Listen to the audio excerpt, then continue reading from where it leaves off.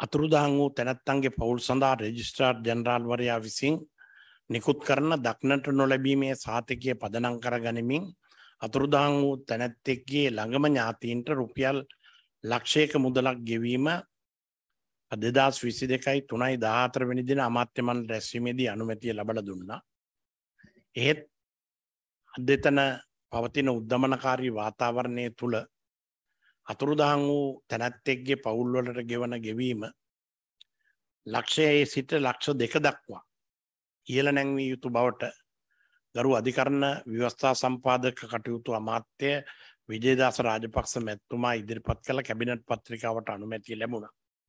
ඒ අනු අතුරුදහන් වූ තැනැත්තන්ගේ පවුල්වල ළඟම ඥාතීන්ට එදා ලැබුණ ලැබීමට නියමිතව තිබුණ ලක්ෂය වෙනුවට ලක්ෂ දෙකක මුදලක් ලබාගන්ට අවස්ථාව ලැබෙනවා ඒ කැබිනට් පත්‍රිකාව නිසා.